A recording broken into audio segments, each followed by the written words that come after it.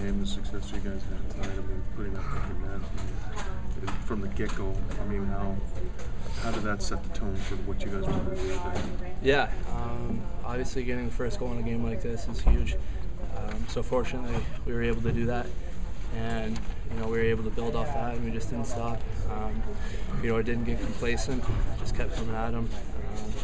So yeah, that first goal was, was very big for us. But your yours is right before the end of the period. Was that the one that kind of put you guys over the top, got you going? Um, you know, not necessarily. I don't think we, we came in with um, with a mindset that we wanted to you know finish our checks and play hard and, and do the little things right, and we did that throughout the whole game. So I don't think one goal really really changed anything for us. We knew what we had to do coming in, and we were able to execute. Meaningful is it to be able to beat these guys here at home? But not only that, but to shut them out for the first time in Hockey East. Great. Uh, I mean, first of all, anytime you can get two points in Hockey East is huge. It's a tough league. Teams are all very close, so every game is very big.